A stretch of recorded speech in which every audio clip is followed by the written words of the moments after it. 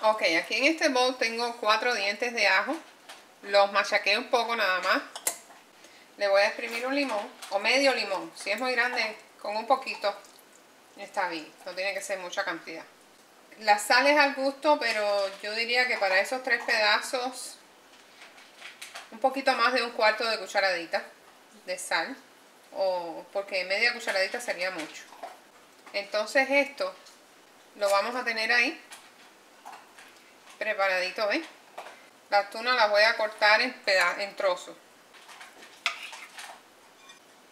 ¿Ven? Entonces voy a ir poniendo los trozos aquí donde está el, el adobo. Si ustedes quieren lo pueden cortar más pequeñito.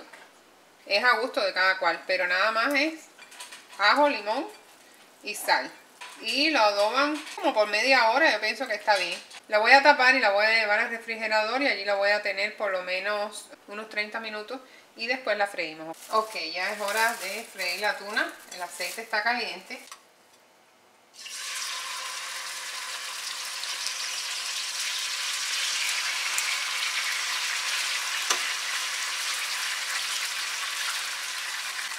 Yo quiero que queden bien doraditas, el fuego está alto estoy friendo con aceite de oliva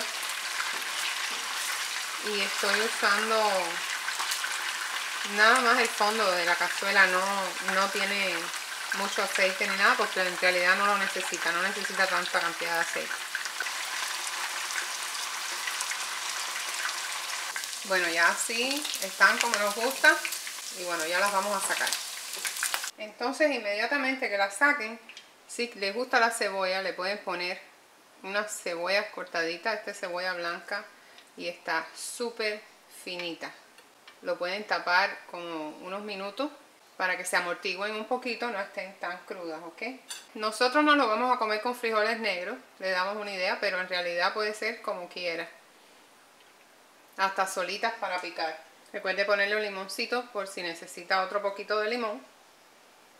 Y bueno, así quedaron esas masitas de tuna fritas son una delicia, se las recomiendo mucho. Espero que les haya gustado. Recuerden, regálenme un like si así fue. Compartan el video, que se los voy a agradecer mucho y nos vemos en el próximo. Que estén muy bien, les mando un abrazo. Hasta luego.